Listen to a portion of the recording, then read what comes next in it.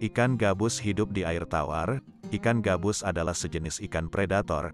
Dia memangsa ikan-ikan kecil serangga dan hewan air seperti kecebong dan keong. Ikan ini hampir merata tersebar di benua Asia.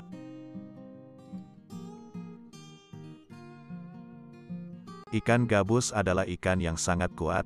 Dia bisa hidup di air yang kotor dan berlumpur. Ketika air surut dia mampu berpindah ke tempat yang masih banyak air. Ketika air benar-benar surut dia akan mengubur diri dan bertahan hingga air kembali penuh.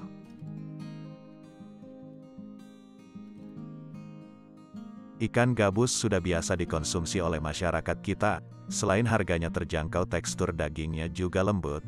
Ikan gabus juga kaya nilai gizi yang sangat baik, selain langsung digoreng. Ikan ini juga bisa dibuat berbagai menu masakan.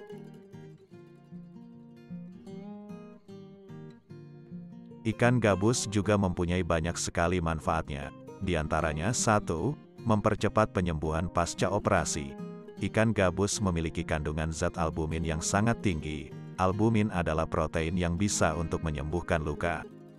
Sebuah studi menemukan pemberian kapsul konsentrat ikan gabus selama 14 hari sebesar 0,7 gram dapat menyembuhkan pasien pasca operasi, salah satunya luka pasca operasi sesar.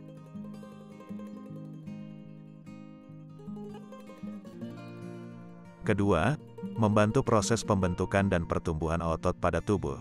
Kandungan protein ikan gabus lebih besar dari jenis ikan tawar lain, bahkan kadar proteinnya bisa menyaingi sumber protein hewani lainnya seperti daging dan telur. Ketiga, menjaga keseimbangan cairan dalam tubuh. Jika kondisi cairan dalam tubuh berkurang, maka protein yang masuk ke dalam tubuh akan pecah sehingga tidak bisa berfungsi dengan normal. Zat albumin ikan gabus bisa berfungsi menjaga keseimbangannya.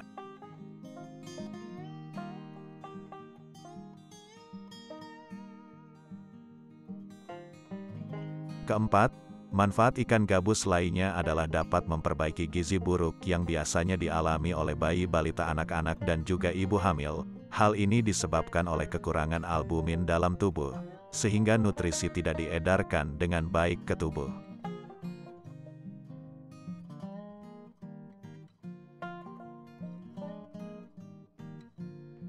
Kelima, menjaga kesehatan sistem pencernaan.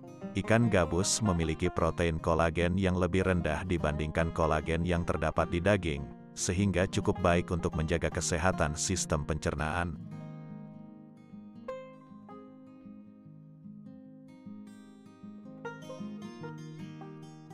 Demikianlah beberapa manfaat dari ikan gabus. Terima kasih sudah menonton video ini. Jangan lupa subscribe, like, dan share video ini. Terima kasih.